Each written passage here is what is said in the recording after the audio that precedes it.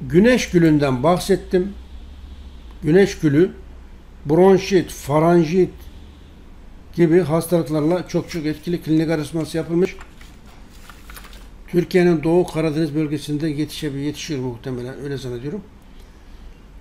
Buchmüller Profesör Doktor 64 yılında 1964 yılında bronşit, faranjit gibi laranjit gibi rahatsızlar hasta üzerinde denemiş, etkisi ispatlanmış, klinik araştırması yapılmış.